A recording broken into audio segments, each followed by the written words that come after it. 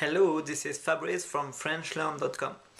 In this video today we are going to see how to say have a good weekend in French. So to say that you just have to say bon weekend. Actually uh, weekend is not translated. Uh, weekend which means the end of the week in French is la fin de semaine uh, is not translated. We use weekend. So bon bon is used to say good.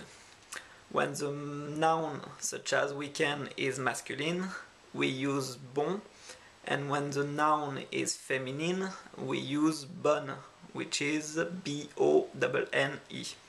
Uh, for instance, a night in French uh, is a feminine noun, which is uh, une soirée, and we use bonne soirée to say have a good night. Um, so that, voila, that's all for today. I hope this lesson was useful. I wait for your feedback at the bottom of this video and you can have more detail and especially this article on the blog FrenchLearn.com. See you soon.